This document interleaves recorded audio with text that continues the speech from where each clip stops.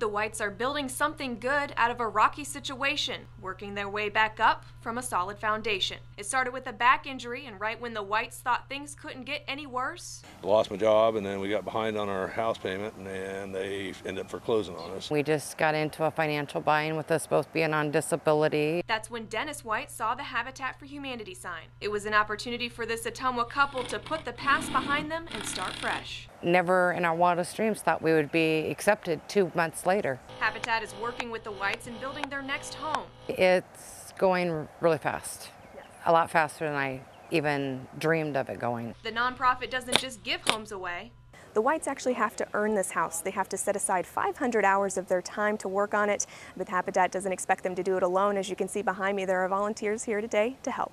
it's a home they can call their own from this day forward. That means a lot, you know, having our hands in the process has really been been fun for me. Volunteer coordinator Larry Jarvis told me 45 people have donated their time to this project. I've had a lot of people do things for me over, over my lifetime, and now I've got a little bit of time, and so it's a chance to, chance to help people out. Jarvis said he's always looking for more help. We still use volunteers every day. Reporting in Ottumwa, Beth Walden, KTVO News.